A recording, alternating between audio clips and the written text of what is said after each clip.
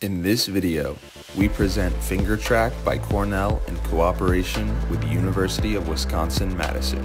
Continuously reconstructing hand poses is a popular yet challenging topic. We developed FingerTrak, a smart wristband mounted with four thermal cameras.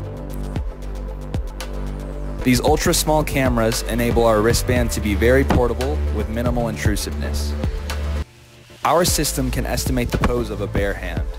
On the main screen, the hand with red joints is the estimated hand pose given by our model and superimposed on the real hand. In the bottom left corner are four stitched thermal camera images captured by the cameras on the wristband. The smart wristband can also reconstruct hand poses in real life scenarios. When people are wearing the wristband, hand poses in daily activities like opening a book,